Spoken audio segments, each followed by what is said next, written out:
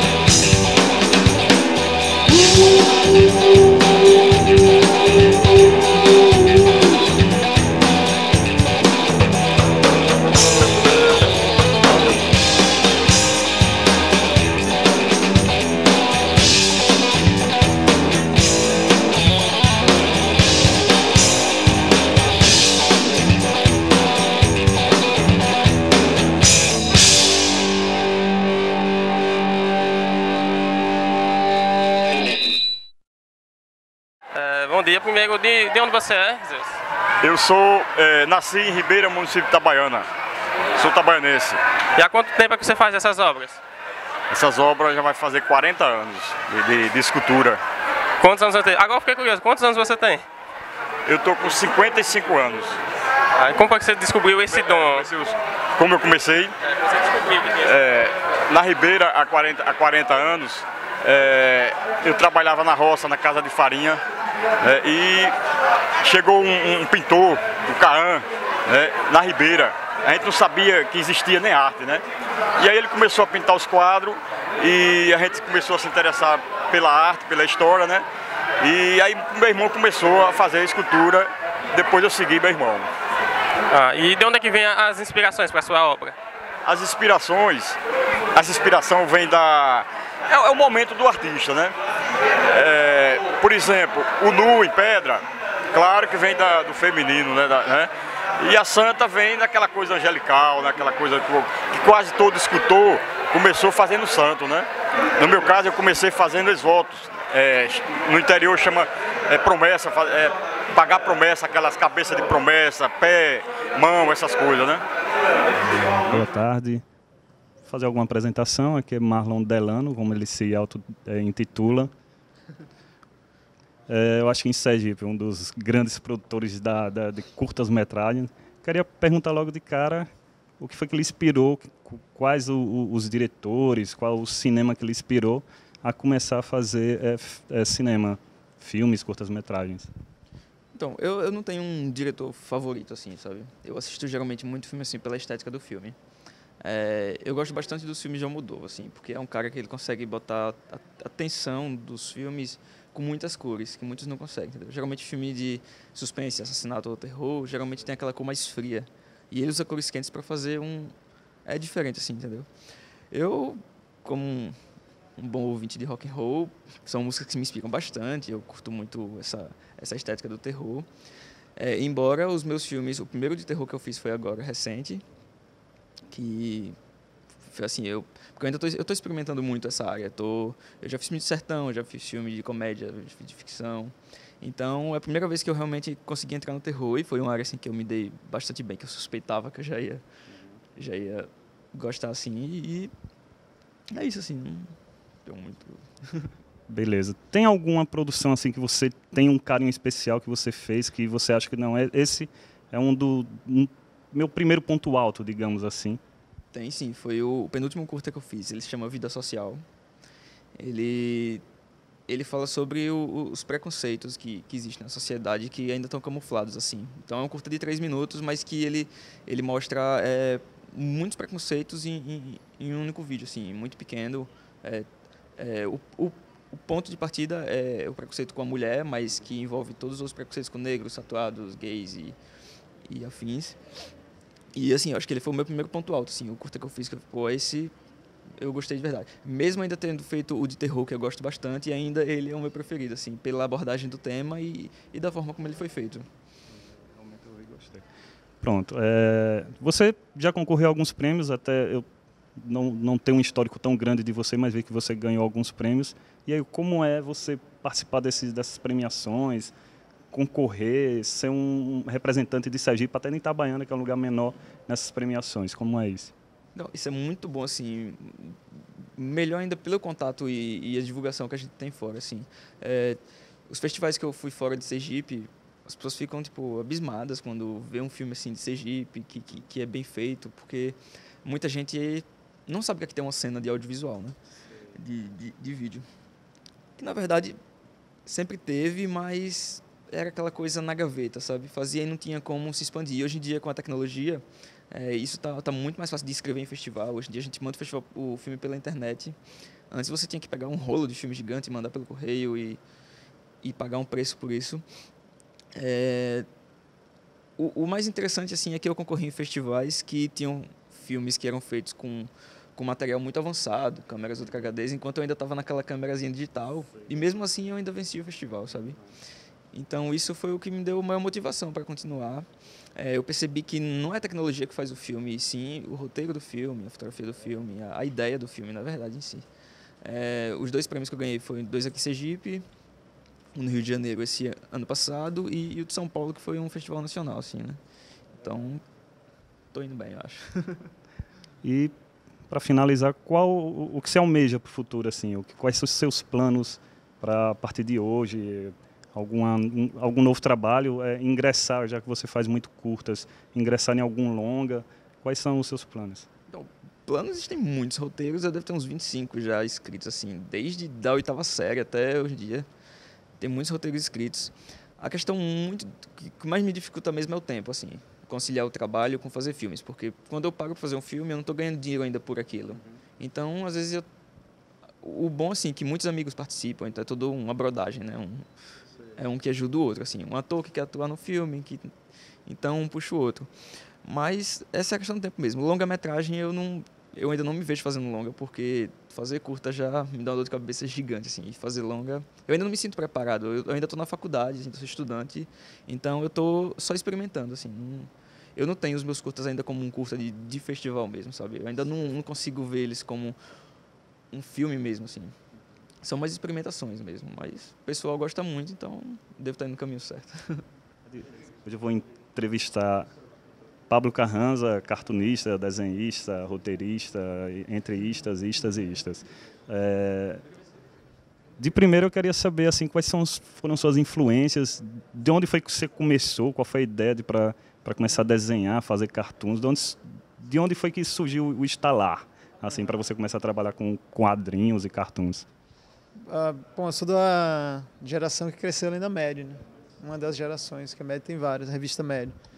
Então eu sempre fui, é, sempre tive vontade de fazer quadrinho e tal, de ser cartunista, de, de, de ser, só que queria ser cartunista de desenho animado.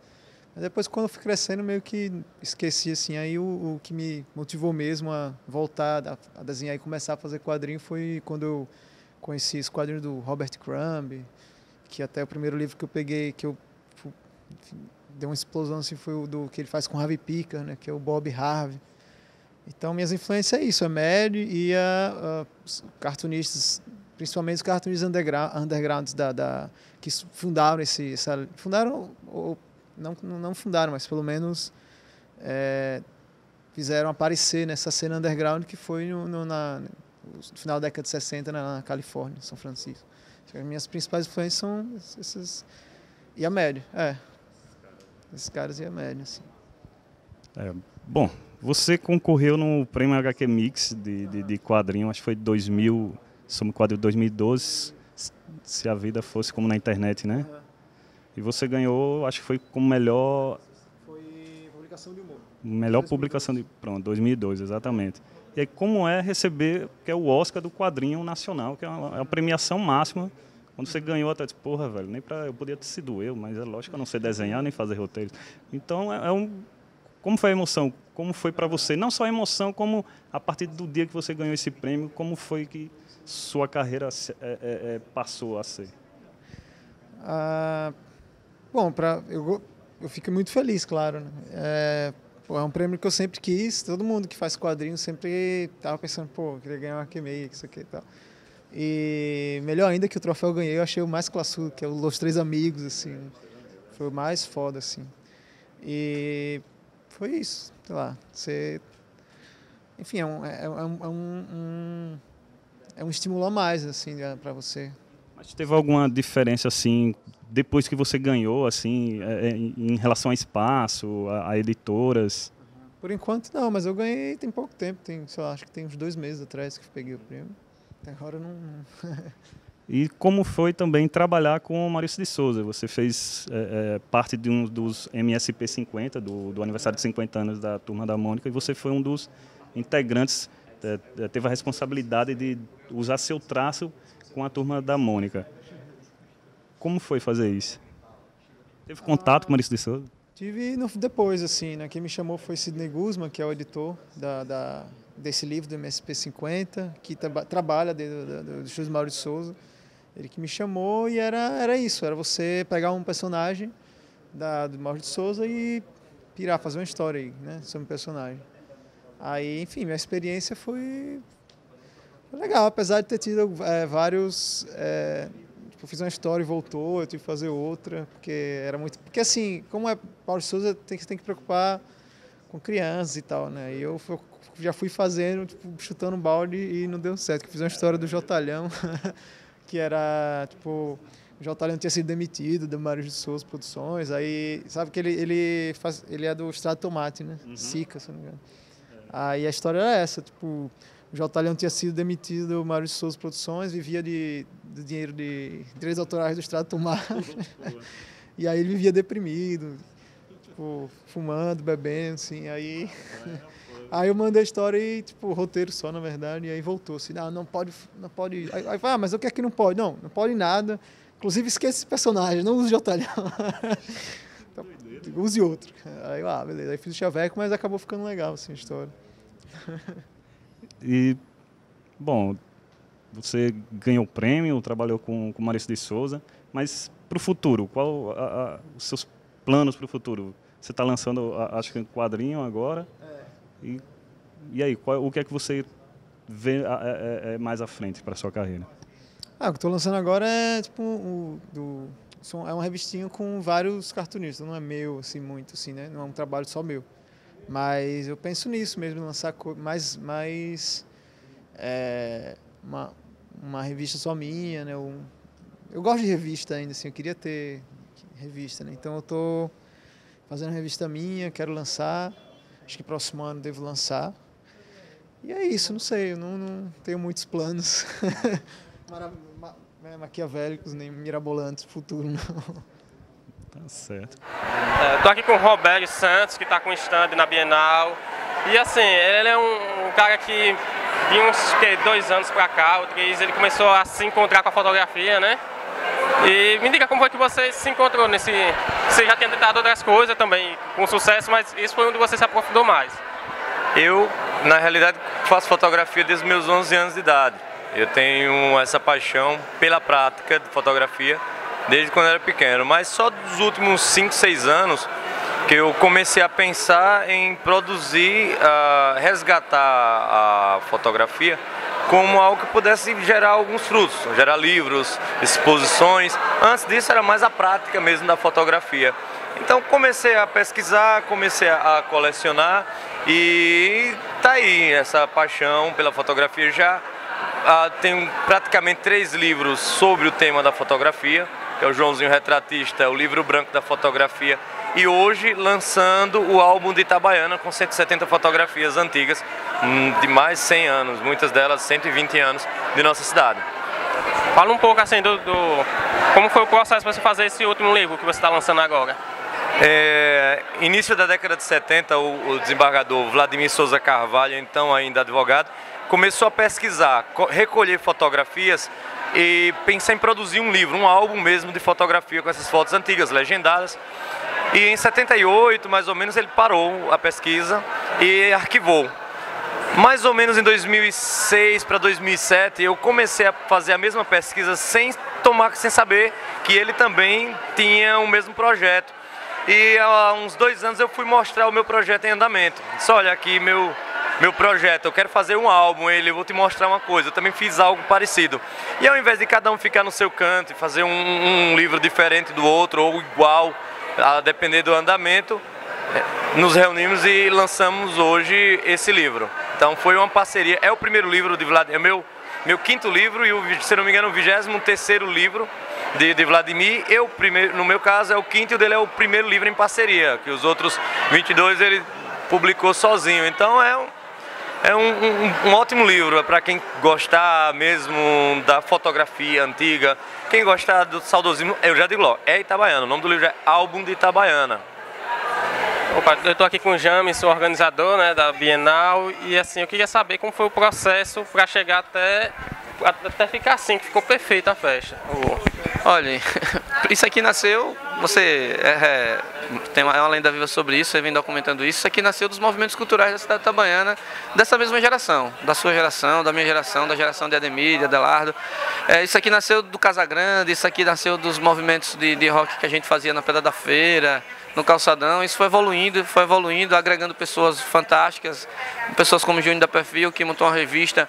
No estado de Sergipe é a única revista que funciona há 13 anos 13 não, acho que é 15 anos, é 16, uma coisa assim, é, quase 20 anos de revista Perfil, por exemplo, da FM Itabaiana, que teve uma, tem uma cabeça no, jovem de um, de um novo diretor que pensa que a cultura é importante, entende que a cultura é importante, todos esses movimentos geraram gerou, gerou na sociedade um, um, um glamour, uma, uma, vontade maior de, de, de, patrocinar a cultura. Aí veio o Edson, da Edson Incorporadora, que gasta parte do que ganha com a cultura também, porque entende que só assim a gente vai transformar a sociedade.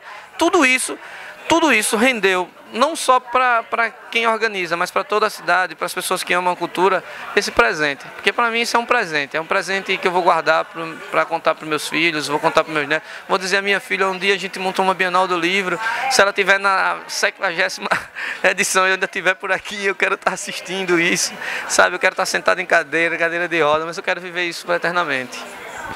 É, e o que melhorou do ano passado e o que vai melhorar para o próximo ano agora? Então, a edição passada, ela aconteceu no espaço menor, essa já foi no espaço maior, a gente utiliza três espaços, a Câmara de Vereadores, o Ciretran amanhã vai ter carros, os carros antigos. É, na verdade, o nosso sonho, se você perguntar o que é que você sonha, eu sonho, sonho mais do que isso. Eu sonho um, um, evento em que a cidade se mobilize, a cidade se mobilize, um evento em que esteja acontecendo simultaneamente na praça, na praça de eventos acontecendo algo, na CDL acontecendo também, na Atlética e, e na Pedra da Feira, nas ruas da cidade também a gente viva a cultura, um grande festival, a Bienal se, se transforma em um grande festival em que as pessoas possam não só lançar livros e vender livros, como também é, sentir, sabe, ter aquela sensação interna de que está acontecendo. Porque às vezes você está aqui dentro, você acha que todo mundo sabe o que está acontecendo pela quantidade de pessoas que vêm.